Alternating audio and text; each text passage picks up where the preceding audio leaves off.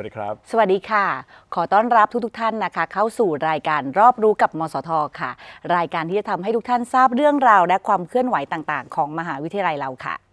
ครับแล้วรายการของเรานะครับจะแบ่งออกเป็น 3 ช่วงครับ ในช่วงแรกครับก็คือ STOU New ครับเราจะมาเล่าเรื่องข่าวสารของมหาวิทยาลัยครับ ว่าใครทำอะไรที่ไหนอย่างไรครับค่ะและสำหรับช่วงที่ 2 นะคะอาจารย์ช่วงตอบโจทย์ค่ะ นักศึกษาที่มีข้อสงสัยเกี่ยวกับการเรียนการสอนนะคะ เราจะมาร่วมตอบโจทย์กันค่ะ และในช่วงสุดท้ายครับช่วงรอบรั้วกับมสทครับเราจะเป็นการประชาสัมพันธ์โครงการดีๆของมหาวิทยาลัยครับ ว่าเรามีการจัดอบรมหรือกิจกรรมอะไรบ้างครับค่ะ และเนื่องจากรายการเราเป็นรายการสดนะคะครับท่านอาจารย์ใหญ่ครับหากนักศึกษามีข้อสงสัยนะคะนักศึกษาก็สามารถสอบถามเข้ามาที่ Facebook ของเราได้ค่ะ ไปพบกับช่วงแรกของเราเลยดีกว่านะคะครับผม STOU News ค่ะ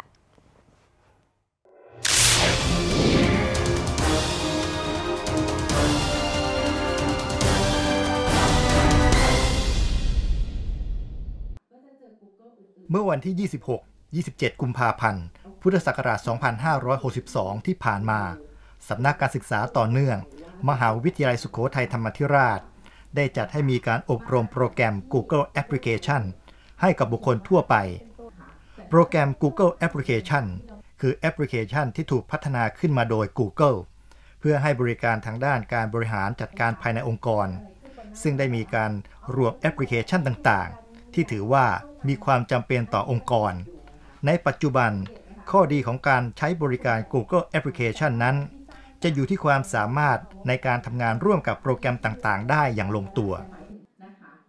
Google Application เนี่ยก็จะเป็น Google สูตรนะคะเป็นชุดของซอฟต์แวร์นะคะที่เรานำมาใช้งานไม่ว่าจะเป็นในองค์กรในสถาบันการศึกษา หรือว่าหน่วยงานภาครัฐภาคเอกชน หรือแม้แต่งานส่วนตัวก็ยังได้นะคะ โดย Google Application เนี่ยมันจะเป็นชุดของซอฟต์แวร์แอปพลิเคชันของ Google อะค่ะ ซึ่งประกอบด้วยหลาย ๆ ตัว อย่างเช่นว่าเรามี Google Drive สำหรับการเก็บข้อมูลเป็นเหมือนกับ Drive ในการเก็บข้อมูลในฮาร์ดดิสก์อย่างเงี้ยค่ะ แล้วเราก็สามารถที่จะสร้างแหล่งที่เก็บข้อมูลได้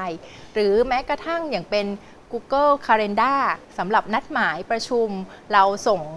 อินไว้มาให้เพื่อนเพื่อจะนัดหมายประชุมในวันนี้นัด meeting อย่างเงี้ยค่ะแล้วเราก็ให้เพื่อนในทีมเนี่ยส่ง accept กลับมาว่าโอเค อย่างน้อยมีใครพร้อมประชุมบ้าง หรือส่วนใหญ่ไม่ว่างเราจะได้ยกเลิกและนัดวันใหม่นะคะหรือเป็นลักษณะที่เราใช้งานกันทั่วไป อย่างเช่น Google Form ค่ะ ตอนนี้เราก็นิยมสร้างแบบสอบถามออนไลน์กันเยอะถูกไหมคะ แล้วก็สามารถที่จะส่งแบบสอบถามเนี่ยไปให้เก็บข้อมูลนะคะสำหรับผู้ที่จะสำรวจแบบสอบถามสำรวจความพึงพอใจ หรือแม้กระทั่งอย่างอาจารย์สถาบันการศึกษา สามารถที่จะสร้างแบบสอบถามนี้ในลักษณะของแบบทดสอบ เพื่อให้นักศึกษาทำคะแนน และเราก็เก็บคะแนนจากการทำแบบสอบถามนี้ได้นะคะ เป็นลักษณะแบบทดสอบไป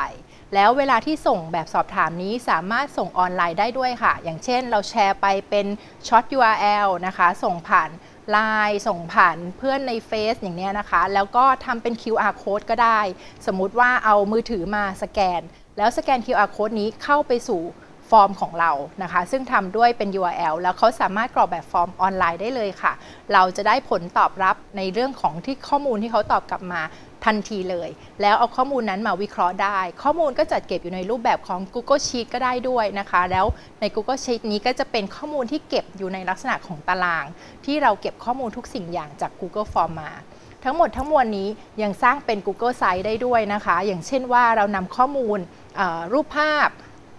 หรือว่าเป็นคลิปวิดีโอนะคะ จะเป็นจาก YouTube หรือแม้กระทั่งเอา Google Form เมื่อกี้นี้ค่ะ ที่เราสร้างเสร็จ ใส่ไว้ใน Google Site นะคะ เราสามารถที่จะแชร์ข้อมูลทุกสิ่งอย่าง แล้วก็รวบรวมไว้ผนวกเข้าเป็นเว็บไซต์ด้วยกันนะคะ เพียงแต่ว่าใน Google Site ของเราเนี่ยค่ะ สามารถที่จะ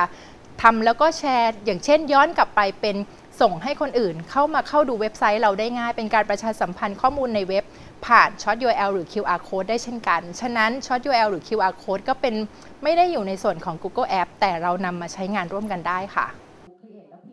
ในการอบรมครั้งนี้ ผู้เข้าฝึกอบรม ยังสามารถนำความรู้ที่ได้นำไปประยุกต์ใช้ในหน่วยงานของตนเอง และนำไปพัฒนาให้สอดคล้องกับธุรกิจของตนได้ ซึ่งจะช่วยให้คุณสามารถเชื่อมต่อ Google Apps เข้ากับโครงสร้างพื้นฐาน IT ได้ต่อไป โครงการนี้เป็นโครงการที่ดีครับ แล้วก็สามารถเรียนแล้วก็เข้าใจได้ง่ายครับ เป็นโครงการที่สามารถต่อยอดกับงานเราได้ครับ ก็จะนำ Google Application เนี่ยครับไปต่อยอด ทางด้านงานวิจัยที่ผมได้ทำแล้วก็จะศึกษาต่อไปเพื่อให้เกิดประโยชน์ต่อไปครับค่ะก็สามารถนำไปประยุกต์ใช้ค่ะสำหรับการทำงานนะคะฝ่ายอบรม แล้วก็รูปแบบต่างๆ ของ Google App ได้นะคะ แล้วก็เขาเรียกว่าเพิ่มประสิทธิภาพในการทำงานให้มากขึ้นด้วยค่ะ วันที่ 28 กุมภาพันธ์ พุทธศักราช 2562 ที่ผ่านมา ได้มีพิธีมอบเงินทุนการศึกษาเสริมสมอง ในระหว่างการประชุมสภามหาวิทยาลัยครั้งที่ 2 2562 โดยมีศาสตราจารย์ดรประสาทสืบค้า กรรมการสภามหาวิทยาลัยผู้ทรงคุณวุฒิ รักษาการแทนอธิการบดี มหาวิทยาลัยสุโขทัยธรรมาธิราช พร้อมด้วย รองศาสตราจารย์ ดร ทวีวัฒน์วัฒนากุลเจริญ ประธานกรรมการประจำสาขาวิชาศึกษาศาสตร์ และคณาจารย์ประจำสาขาวิชาศึกษาศาสตร์นำเงินรายได้จากการจัดกิจกรรม ศึกษาศาสตร์ มสท ชวนวิ่งเพื่อทุนการศึกษาเสริมสมองจำนวน 62,693 บาท ร่วมสมทบเข้ากองทุนการศึกษาเสริมสมอง สาขาวิชาศึกษาศาสตร์ โดยมอบให้แก่ศาสตราจารย์ ดรวิจิตศรีสะอ้าน นายกสภามหาวิทยาลัยสุโขทัยธรรมาธิราช ในฐานะ ท่านเป็นผู้ก่อตั้งกองทุนเสริมสมองการศึกษาของสาขาวิชาศึกษาศาสตร์ มหาวิทยาลัยสุโขทัยธรรมาธิราช โดยผู้ที่มีสิทธิ์ขอรับทุนการศึกษาเสริมสมอง ต้องมีผลการเรียนดีเด่นอย่างต่อเนื่อง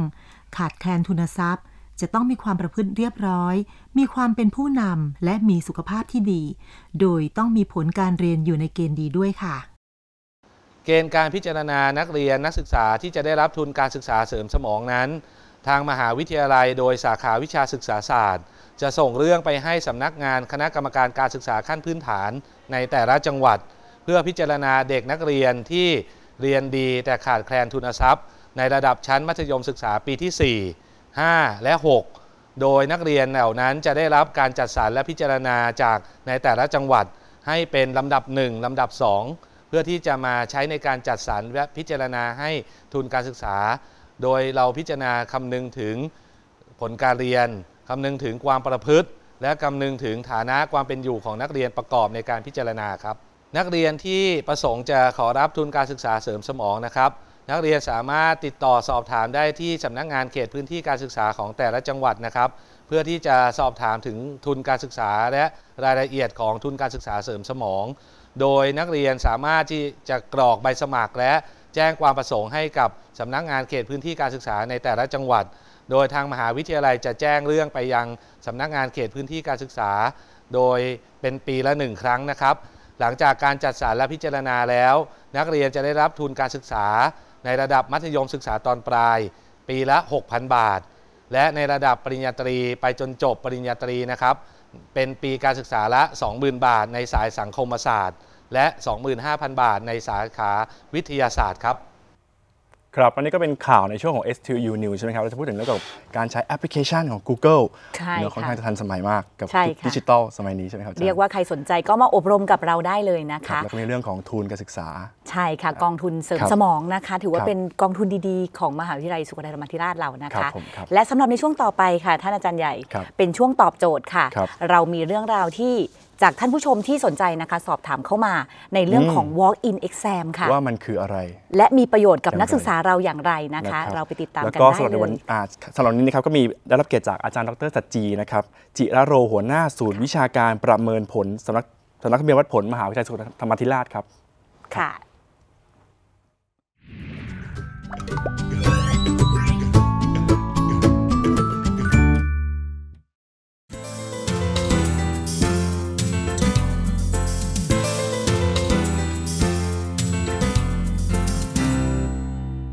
สำหรับการสอบ Walk-in Exam นะคะ ก็มีชื่อเต็ม ๆ ว่า การสอบตามความพร้อมของนักศึกษา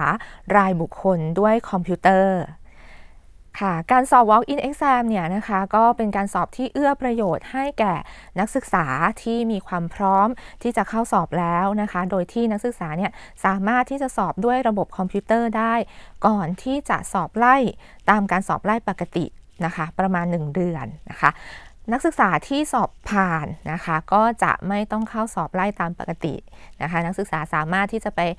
หนังสือสอบในชุดวิชาอื่น ๆ ได้นะคะ ส่วนนักศึกษาที่สอบไม่ผ่านใน walk-in exam นะคะ ก็ไม่ต้องเสียใจไปนะคะ สามารถที่จะเข้าสอบไล่ได้ตามปกตินะคะ แล้วก็ถ้าสอบไล่ไม่ผ่านอีก ก็ยังเข้าสอบซ่อมได้ตามปกตินะคะ โดยที่ไม่ได้มีการติดสัญลักษณ์ใด ๆ จากการสอบ walk-in exam นะคะ ก็นับเป็นการสอบที่เอื้อประโยชน์ให้แก่นักศึกษาอย่างมากนะคะ โดยที่วิธีการสอบเนี่ยก็ไม่ยุ่งยากนะคะ นักศึกษาเนี่ยไม่ได้จำเป็นว่าจะต้องชำนาญในการใช้คอมพิวเตอร์เป็นพิเศษนะคะ แค่คลิกเมาส์เป็นนะคะ พอคลิกเมาส์ได้นะก็สามารถที่จะสอบ walk-in exam ได้นะคะ โดยที่เราก็จะมีกรรมการคุมสอบคอย แนะนำวิธีการทำข้อสอบให้แก่นักศึกษานะคะ รวมทั้งการที่ เราจะมีวิดิทัศน์ แนะนำวิธีการทำข้อสอบก่อนที่จะเริ่มการสอบนะคะ ซึ่งก็จะมีการทดลองระบบสอบนะคะ มีการทดลองทำข้อสอบตัวอย่างก่อน เพราะฉะนั้นเนี่ยไม่ต้องกังวลเลยนะคะ ในเรื่องของการสอบนะคะ ไม่ได้ยุ่งยากเลยค่ะ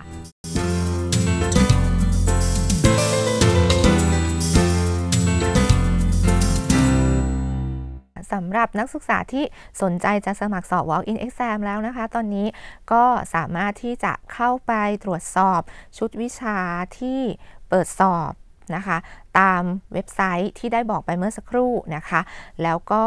นักศึกษาเนี่ยเข้าไปที่สมัครสอบนะคะก็จะไปเลือกวันเวลาและสถานที่ที่สอบรวมทั้งชุดวิชาที่สอบนะคะ แล้วจากนั้นนะคะ ก็สำหรับนักศึกษาที่มี KTB ออนไลน์นะคะก็สามารถจ่ายผ่าน KTB ออนไลน์ได้นะคะ หรือนักศึกษาที่จะประสงค์ที่จะชำระผ่านเคาน์เตอร์ของธนาคารกรุงไทยนะคะ ก็พิมพ์ใบใบลงทะเบียนสอบตรงนี้นะคะ แล้วไปแจ้งที่เคาน์เตอร์ธนาคารกรุงไทยนะคะ ก็ค่าธรรมเนียมในการสมัครสอบ 300 บาทต่อชุดวิชาค่ะ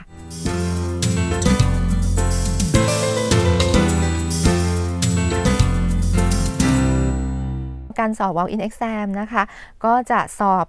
ก่อนการสอบไล่ปกติ 1 เดือนนะคะ อย่างเช่นในเทอมในภาคเรียนที่1นะคะ จะมีการสอบปกติเดือนมกราคมนะคะ ก็จะจัดสอบ walk-in exam เดือนธันวาคมนะคะ แล้วก็ในภาคเรียนที่2นะคะ จะมีการจัดสอบปกติเนี่ยเดือน กรกฎาคมนะคะ ก็จะสอบ walk-in exam ในเดือนมิถุนายนนะคะ ส่วนการรับสมัครนะคะ ก็จะรับสมัครสอบ walk-in exam นะคะ ก่อนการสอบประมาณนะคะสเดือนครึ่ง อย่างเช่น การสอบในเทอมแรกนะคะในภาคเรียนที่1นะคะที่จะมีการสอบ walk-in exam ในเดือนธันวาคมเนี่ยนะคะก็จะเริ่มรับสมัครใน กลางกลางเดือนกันยายนนะคะ ส่วนการสอบในภาคเรียนที่ 2 ของ walk-in exam ที่จะมีสอบในเดือนมิถุนายนนะคะ ก็จะเริ่มรับสมัครสอบในกลางกลางเดือนมีนาคมนะคะ ก็ขอให้นักศึกษาเนี่ยเข้าไปนะคะสมัครสอบได้ในช่วงเวลาที่มีการเปิดสอบดังกล่าวนะคะ แล้วก็ส่วนสถานที่สอบนะคะ ก็ในส่วนของมสทส่วนกลางนะคะ ที่นนทบุรีเนี่ยก็จะมีการสอบที่อาคารเฉลิมพระเกียรติ 80 พรรษานะคะ ที่ห้องปฏิบัติการคอมพิวเตอร์นะคะที่ชั้น M แล้วก็ชั้น5นะคะอันนี้เนี่ยนักศึกษาเนี่ยก็ตรวจสอบสถานที่สอบอีกทีนะคะหลังจากที่ได้ลงทะเบียนสอบเรียบร้อยแล้วนะคะ แล้วก็ส่วนของต่างจังหวัดนะคะ ก็มีศูนย์สอบนะคะตามศูนย์วิทยาพัฒนาทั้ง 10 ศูนย์ของมสทนะคะ นักศึกษาที่ใกล้จังหวัดไหนนะคะ ก็สามารถที่จะลงทะเบียนสอบที่จังหวัดนั้นได้นะคะ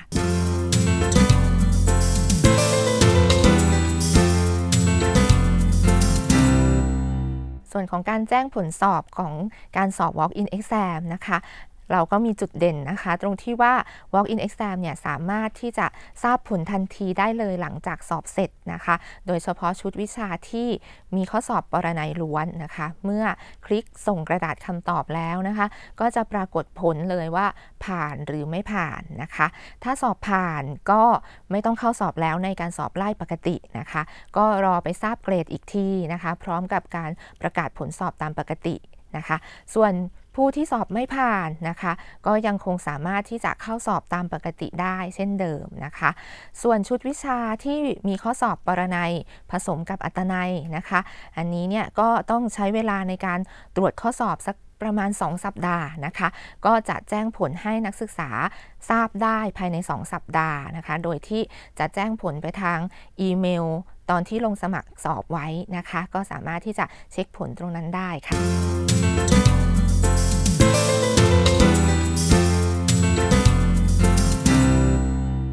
จุดเด่นของ Walk-in Exam นะคะ โดยสรุปแล้วเนี่ยนะคะ ประเด็นแรกเลยนะคะก็คือว่า Walk-in Exam เนี่ยนะคะเป็นการเพิ่มโอกาสในการสอบให้แก่นักศึกษานะคะ กรณีที่นักศึกษาสอบผ่านเนี่ยก็จะไม่ต้องเข้าสอบในวิชานั้นแล้วนะคะ ก็สามารถที่จะไปเตรียมสอบในชุดวิชาอื่น ๆ ได้นะคะ ส่วนนักศึกษาที่สอบไม่ผ่านนะคะ ก็ยังคงเข้าสอบตามชุดวิชานั้น ๆ ได้ตามการสอบไล่ปกติ นะคะ แล้วถ้าเข้าสอบไล่ปกติไม่ผ่านอีก ก็ยังคงสอบเข้าตามการสอบซ่อมปกติได้เช่นเดียวกันนะคะ และในอีกประเด็นหนึ่งนะคะก็คือ walk-in exam เนี่ยนะคะ สามารถที่จะทราบผลได้เลยทันทีหลังจากสอบเสร็จนะคะ โดยเฉพาะส่วนที่เป็นข้อสอบปรนัยนะคะ นักศึกษาเนี่ยก็จะรู้ผลเลยนะคะในชุดวิชาที่มีข้อสอบปรนัยอยู่นะคะ ส่วนชุดวิชาที่มีข้อสอบปรนัยผสมอัตนัยนะคะ ก็ใช้เวลาตรวจนิดนึงค่ะประมาณ 2 สัปดาห์ นักศึกษาเนี่ยก็จะทราบผลนะคะว่าสอบผ่านหรือไม่ผ่านนะคะ เพื่อที่จะได้เตรียมตัวนะคะสำหรับคนที่ไม่ผ่านเนี่ยก็จะได้รู้ผลโดยเร็ว แล้วก็ไปเตรียมตัวในการที่จะสอบไล่ปกติได้นะคะค่ะ ก็ขออวยพรนะคะ ให้กับนักศึกษาทุกๆทท่านนะคะ ที่สนใจที่จะสมัครสอบ walk-in exam นะคะ ก็ขอให้นะคะนักศึกษาเนี่ยสามารถสอบได้อย่างผ่านเลยนะคะ ตามที่นักศึกษาเนี่ยได้เตรียมตัวมาเป็นอย่างดีนะคะ ก็ขอให้ทุกคนโชคดีแล้วก็ประสบความสำเร็จนะคะ ในการเรียนกับมสทค่ะ ขอบคุณค่ะ ค่ะ เราก็ต้องขอขอบพระคุณท่านอาจารย์ดรสจีจิระโรนะคะ ท่านเป็นหัวหน้าศูนย์วิชาการประเมินผลสำนักทะเบียนและวัดผลมสทค่ะก็ถ้านักศึกษามีคำถามหรือข้อสงสัยอะไรนะคะ นักศึกษาก็สามารถสอบถามเข้ามาในรายการเราได้ค่ะ เราพร้อมที่จะตอบโจทย์ให้กับนักศึกษาทุกท่านค่ะ ครับผม อาจารย์อาจารย์รู้จักไหมครับว่าสำนักงานวิชาต่อเนื่องเนี่ยเราทำหน้าที่เกี่ยวกับอะไรบ้างครับโอ้ยทราบค่ะ จัดโครงการดีๆ อบรมอบรมอยู่เรื่อยๆเลยค่ะ ซึ่งเราก็มีทั้งจัดอบรมภายในและหน่วยงานภายนอกด้วยใช่ไหมครับอาใช่จารย์ครับค่ะครับและในวันนี้นะคะ เรามีเรื่องราวดีๆนะคะ จากสำนักการการศึกษาต่อเนื่องค่ะ เราได้รับเกียรติจากรองศาสตราจารย์ ดรปนชัดหมอยาดีค่ะท่านเป็นผู้อำนวยการสำนักการศึกษาต่อเนื่องจะมาร่วมพูดคุยในหลักสูตรเดือนมีนาคม 2562 นี้กับเรากันค่ะ ครับไปติดตามรับชมช่วงรอบรั้วกับมสทได้เลยครับ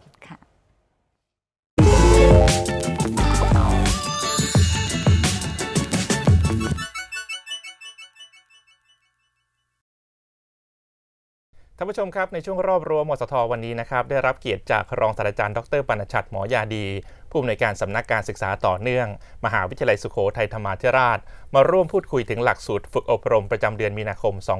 2562 ของมหาวิทยาลัยสุโขทัยธรรมาธิราช ซึ่งท่านก็นั่งอยู่ข้างๆผมตรงนี้แล้วนะครับ สวัสดีครับอาจารย์ครับ สวัสดีค่ะ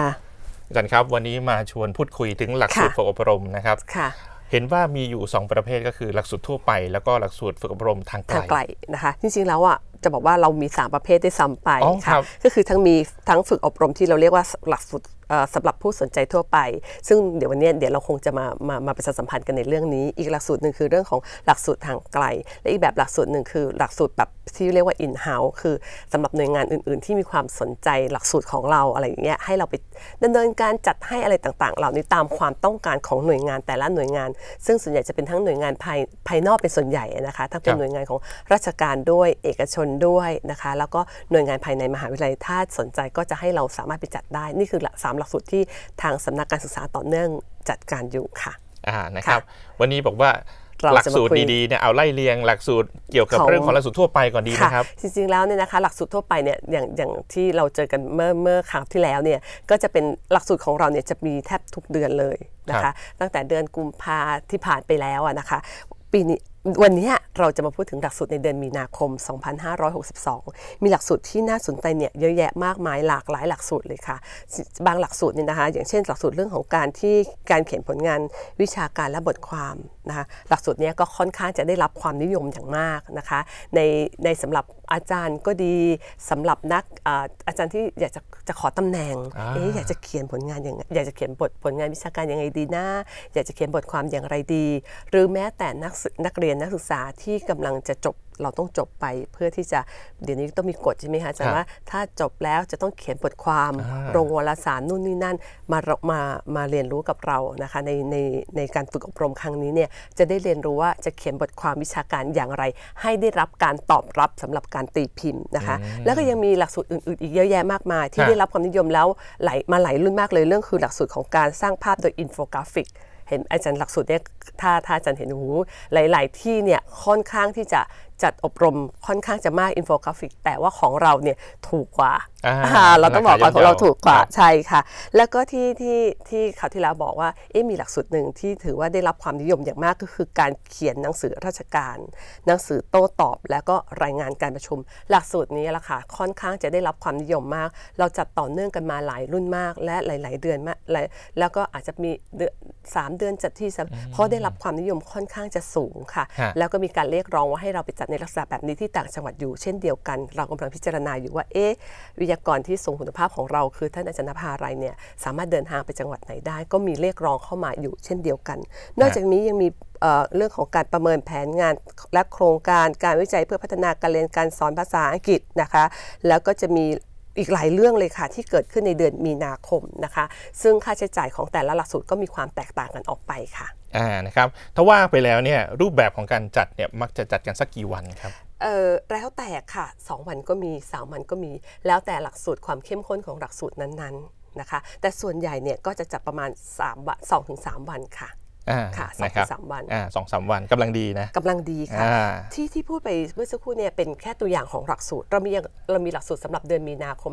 2562 ที่น่าสนใจอีกเยอะแยะมากมายนะคะฮะถ้าถ้าอยากจะทราบเนี่ยให้เข้าไปดูในเว็บไซต์ของสำนักการศึกษาต่อเนื่องนะคะ เราจะมีหลักสูตรอย่าว่าแต่เฉพาะเดือนเดือนมีนาเลย เราจะมีหลักสูตรตลอดทั้งปีสำหรับฮะสำหรับที่เราเรียกว่าหลักสูตรหลักสูตรสำหรับผู้สนใจทั่วไปเนี่ยเรามีตลอดทั้งปีนะคะฮะ นะคะเรามีตลอดทั้งปี แล้วก็เอ๊ะเดือนนี้สมมติไม่ว่าง เอ๊ะการเขียนหนังสือราชการถ้าถ้าเดือนนี้ไม่ว่าง มีเดือนไหนอีกอืมเราเข้าไปดูนะคะ ว่าเรามีเดือนไหนอีกนะคะในการที่จะ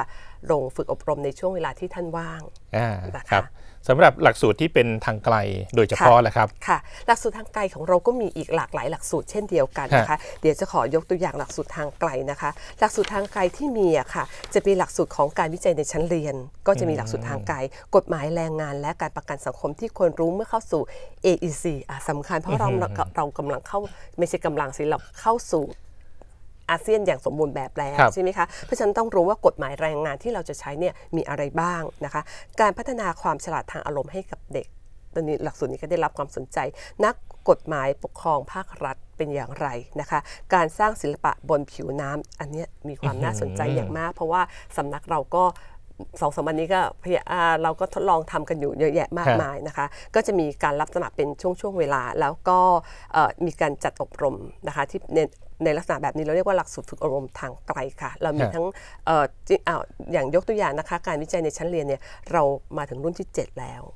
นะคะรุ่นที่ 7 รุ่นที่ 8 เราด้วยเนี่ยถ้าถ้าเป็นช่วงของเดือนพฤษภาเนี่ยจะเป็นรุ่นที่ 8 ค่ะฮะนะคะเพราะว่าจะเห็นได้ว่าค่อนข้างจะได้รับความนิยมอย่างมากค่ะอ่านะฮะต้องถามเกี่ยวกับเรื่องหลักสูตรที่เป็นความสนใจเฉพาะนะฮะค่ะตามความต้องการของหน่วยงานของหน่วยของท่านงานเลยนะครับค่ะค่ะเราก็บางทีเรียกว่า in house นะครับใช่ค่ะมีการจัดให้บ่อยแค่ไหนครับเออตอนนี้เนี่ย ถือว่าจะบอกว่าเราค่อนข้างได้รับความนิยมอย่างมากนะคะ ในการเพราะว่าเริ่มประชาสัมพันธ์และเริ่มเริ่มเปิดตัวค่อนข้างจะมากจริงๆก็มีมีมาค่อนข้างจะนานแล้วแต่เราไม่ค่อยได้ไม่ไม่เปิดตัวมากเท่าไหร่นักนะคะ ปีเนี้ยค่อนข้างจะเข้ามาเยอะมากว่าหน่วยงานต่างๆที่ที่ที่เข้ามาเป็นเครือข่ายเราให้เราจัดฝึกอบรมให้นะคะ คือคุณมีหน่วยงานคุณอยากจัดเรื่องอะไรประเด็นก่อน อยากจัดเรื่องอะไรสำคัญมีงบประมาณเท่าไหร่อ่าเออต้องสำคัญนะคะมีงบประมาณเท่าไหร่นะคะ อยากได้วิทยากรประมาณไหนนะคะ ถ้าคุณมี 3 แบบเนี้ยคุณโทรเข้ามาคุยกับเรานะคะ หรือคุณไม่มีวิทยากรคุณมีแค่หัวข้อที่อยากอยากจะเรียน อยากอยากจะให้ฝึกอบรมนะคะ และคุณก็มีงบประมาณ คุณโทรมาคุยกับเรา เราจะสามารถจัดให้ตามที่งบประมาณและความต้องการของคุณวิทยากรเราสามารถมีได้อย่างที่ทราบว่าในมหาลัยเราก็มี อาจารย์ผู้ทรงคุณวุฒิในหลาย ๆ ด้านที่ให้ความรู้ต่าง ๆ ซึ่งก็ถือว่าในภายข้างหน้าในในข้างนอกเนี่ยนะคะมีชื่อเสียงพอสมควรมากนะคะในการที่เราจะจัดฝึกอบรมให้ได้อ่านะฮะก็วิทยากรเราก็มาจากคณาจารย์หลากหลายสาขาวิชานะ ใช่ค่ะใช่บางคนเนี่ยโทรมาบอกว่าเอ๊ะเราอยากได้วิทยากรข้างนอกได้ไหมได้เราติดต่อให้ฮะบางคนเรียกเรามาโอ้ย หลายหมื่นมาก เราก็ทำยังไงดีล่ะเราต้องมาคุยกันก่อนนะคะ เพราะว่าถ้าวิทยากรที่มีชื่อเสียง ก็นั่นหมายถึงเราจะต้องจ่ายเงินค่อนข้างจะค่อนข้างจะสูงนะคะ แต่ยังไงก็ตามถ้าได้ประโยชน์เนี่ยเราก็ยินดีที่จะช่วยเหลือกันค่ะ เพราะว่าถือว่าเป็นความร่วมมือระหว่างหน่วยงานนะคะ นี่คือเป็นการอบรมแบบที่เรียกว่า in house นั่นเองค่ะอ่านะฮะก็ก็เห็นอาจันปณิชัดพูดถึงในในเรื่องของการติดต่อมาบ้างเหมือนกันค่ะนะครับค่ะจะย้ำช่องทางอีกสักครั้งได้ไหมครับว่ามีช่องทางไหนติดจต่อริงๆแล้วเนี่ยเรามีเรามีเรามีหลายช่องทางมากนะคะไม่ว่าจะเป็นเอาเอาพื้นๆเลยคือโทรศัพท์มาหาเราโทรศัพท์มาหาเรานะคะ โทรศัพท์มาเนี่ยนอกจากถามก่อนว่าเออติดต่อจริงๆเนี่ยทุกหลักสูตรเนี่ยถามก่อนค่ะว่า ถ้าสนใจแล้วควรจะรีบโทรมา เพราะอะไรเพราะว่าบางหลักสูตรเต็มนะคะฮะบางคนบอกโอ๊ยไม่เป็นไรเดี๋ยวใกล้ๆ เราเข้ามาละกันแล้วเขาเข้ามาเข้า walk in เข้ามาเลยได้ไหมได้ แต่คุณอาจจะไม่มีที่ให้นั่งอืมค่ะ ก็จะต้องเปิด ก็จะต้องเป็นรุ่นอื่นๆนะคะ ซึ่งโทรศัพท์มาถามก่อนว่า หลักสูตรนี้ยังจัดช่วงเวลานี้ไหมครับเต็มหรือเปล่านะคะ วิธีการเดินทางจะมายังไงเนี่ยจะได้บอกให้ถูกว่าบ้านเราอยู่นนทบุรีเนี่ยบางคนบอกว่าไกลจังเลยก็ทางเราจะมีมีคำเอ่อมีคำตอบให้เสร็จเลยค่ะ ว่าจากคุณเนี่ยมาที่เราเท่าไหร่หนึ่งหลักสูตรยังจัดอยู่ไหมเดินทางมาอย่างไรค่าใช้จ่ายอย่างไร แล้วก็อะไรอีกล่ะคะ แล้วก็เอ่อ โอนเงินยังไงอ่านะสำคัญมากนะฮะมีที่พักไหมที่ฮะพักของมสทก็มีถ้ายังไงเนี่ยถ้าถ้าสะดวกที่จะมาเพราะว่าจะต้องอบรม2องสองสองถึงสามวันเนี่ยนะคะ บางครั้งฮะเนี่ยก็ต้องอาศัยที่พักด้วยนะคะ เราก็มีบริการให้ อันนี้คือช่องทางโทรศัพท์มา หรือไม่ก็เข้าไปในเว็บไซต์ของสำนักการศึกษาต่อเนื่องนะคะ ซึ่งเข้าไปในเว็บไซต์เนี่ยจะมีรายละเอียดทั้งหมดให้ แต่ไม่เข้าใจยังไงก็โทรศัพท์บางคนเนี่ยคนไทยยังชอบยังชอบพูดคุยอยู่นะคะฮะเอ๊ะบางคนเนี่ยสมัครเข้ามาเรียบร้อยแล้วเอ๊ะไม่แน่ใจว่า ทางเราได้รับไหมโทรศัพท์มาอีกรอบก็มีค่ะอ่านะคะฮอะค่ะก่อนจากกันวันนี้นะครับให้อาจารย์ปณิชัดช่วยแนะนำดีกว่าว่า เราจะต้องเตรียมตัวยังไง เพื่อจะเข้ารับการฝึกอบรมกับมสทค่ะครับก่อนอื่นนะคะอยากอยากให้ถามตัวเองก่อนว่าสนใจในเรื่องอะไร นะคะ บางคนเนี่ยอบรมเยอะมาก แต่ยังหาหาไม่ได้ว่าตัวเองสนใจอะไร ถามตัวเองก่อนว่าสนใจในเรื่องอะไรนะคะ สนใจในเรื่องอะไรเนี่ยหรือว่าไม่แน่ใจว่าเหมาะสมกับตัวเองมากน้อยแค่ไหนนะคะ โทรมาหาที่สำนักการศึกษาต่อเนื่องนะคะ 02 ค่ะ 503 3558 โทรมาคุยกับเราค่ะว่าอยากจะทำอยากจะอบรมแบบนี้เรามีคอร์สหรือมีหลักสูตรอะไรที่แนะนำให้ได้ไหม ถ้ามีเราจะแนะนำนะคะ ถ้าไม่ตรงความต้องการถ้าไม่ตรงความต้องการนะคะ เราก็เราก็จะมีหลักสูตรอื่น ๆ ที่นำเสนอ อีกหลักสูตรหนึ่งที่อยากแนะนำมากคือหลักสูตรเรื่องของการอนุญาตใบขับขี่อืมซึ่งเราถูกกว่าที่อื่นๆครัและบคนตรงเนี้ยจะมีคนเนี่ยให้ความสนใจเนี่ยค่อนข้างจะมาก หลักสูตรนี้เนี่ยเราเปิดถือว่าถูกกว่าที่อื่นมาก ถ้าคุณไปเรียนที่อื่นเนี่ยราคาสูงแต่ของเราเนี่ยราคาค่อนข้างจะ ไม่ไม่แพงเอาไม่มากแพงไม่แพงนะฮะมาก มาถามราคากันละกันนะคะ แต่ยังไงซะถ้าคุณคิดอยากจะอบรมอะไรก็ตามนะคะ ไม่ว่าจะเป็นอบรมทางใกล้ก็ดี ทางไกลก็ดี in house ก็ดีหรืออะไรก็ดีให้นึกถึงสำนักการศึกษาต่อเนื่อง เรามีคำตอบในเรื่องการฝึกอบรมให้คุณทุกเรื่องค่ะอ่าเยี่ยมมากครับหลักสูตรมากมายเลือกไม่ถูกเลยนะครับเอาละครับในช่วงนี้ต้องขอขอบพระคุณรองศาสตราจารย์ดรปนชัดหมอยาดีนะครับผู้อำนวยการสำนักการศึกษาต่อเนื่องที่ให้เกียรติมาร่วมรายการ ต้องขอขอบพระคุณและสวัสดีครับ สวัสดีค่ะ ท่านผู้ชมครับในช่วงนี้เวลาหมดลงแล้วครับเราทั้งสองคนต้องขอลาไปก่อน สวัสดีครับ ค่ะนั้นก็ครับนับเป็นข่าวสารดีๆ จากสำนักการศึกษาต่อเนื่องนะคะครับอาจารย์ครับท่านอาจารย์ธำรงเจตครับเป็นไงบ้างคะเรื่องราวในวันนี้ ดีมากครับอาจารย์ค่ะ ถือว่ามีอ่าท่านผู้ชมนะคะ บอกมาหลายอย่างเลยนะคะ โดยเฉพาะบางท่านนะคะเมื่อก็เห็มีทางมา Facebook Live ใช่ไหมฮะใช่ครัค่ะบมาให้กำลังใจเพื่อนๆ ให้ก้าวไปให้ถึงจุดหมายครับนะคะ รวมทั้งใครที่บอกว่าเออต้องการให้แนะนำเรื่องราวเกี่ยวกับการเตรียมการตัวเตรียสมอตับวสอบ ค่ะ อาจารย์มียังไงครับ ค่ะเราก็มีให้ติดตามในรายการเราแน่นอนค่ะ ช่วงใกล้ๆสอบอ๋อนะคะเราจะมีติวกันครั้งเอ้ยที่บอกวิธีการแนะนำตัวสอบกันใช่ไหมครับ ใช่ค่ะของว่าต่อต่อไปพอใกล้สอบแล้วจะต้องเตรียมตัวอืมยังไง วิธีการอ่านหนังสือนะคะ แล้วก็ข้อสอบอยู่ตรงไหนอ่าต้องมีคบการทำแบบแบบฝึกหัดครับยังไง นะคะ อันนี้ก็เป็นเรื่องราวทั้งหมดนะคะในรายการรอบรู้กับมสทค่ะครับรายการที่ทำให้เราใกล้ชิดกับนักศึกษามากยิ่งขึ้นค่ะ ครับผมแล้วก็สำหรับท่านผู้ชมนักศึกษาทุกท่านนะครับที่มีข้อสงสัยหรือเสนอแนะครับก็สามารถส่งอ่าข้อความหรือคอมเมนต์เนี่ยครับมาได้ทางรายการของเรานะครับที่อยู่สามารถติดต่ออยู่ทางในหน้าด้านหน้าหน้าจอครับ แล้วก็เราสามารถพบกันใหม่ครับ รายการรอบรู้กับมสทนะครับ ในวันและเวลาเดียวกันนี้ครับ และช่วงสุดท้ายเนาะเราสองคนก็ต้องกล่าวคำว่า สวัสดีสวัสดีค่ะ ครับ